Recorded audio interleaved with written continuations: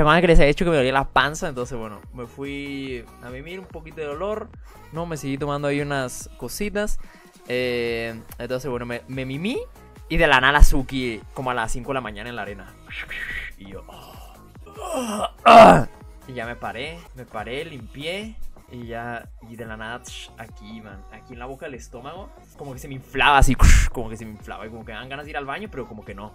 No, entonces estaba así de, oh, estoy incómodo y, y, no podía dormir, man. Dieron las 6, dieron las 7 y no podía dormir. Me levanté a, a, comer como, me comí un pepino, me comí dos zanahorias, me comí un mango porque también me dolía, ¿no? Entonces, no sé si era por hambre, no sé si era, ya por milagro me dormí como a las 8. Ya me desperté como a las 12. Entonces dormí como 4 horas, más las 2 horas y media. Dormí como 6 horas y media, así intercaladas. Luego ya cuando, ya cuando traía como mucho sueño, muy cansado y ya estaba a punto de dormir, la seguí. Hija de tu madre. Cálmate, por favor. Ven. Y la quería agarrar y se iba al otro lado de la cama. Y luego iba al otro lado de la cama y se iba para el frente. Y yo, hija tu... Le dije, Suki, no me hagas enojar. Contrólate. Y luego otra vez. Y yo, ¡Oh! Suki, por favor.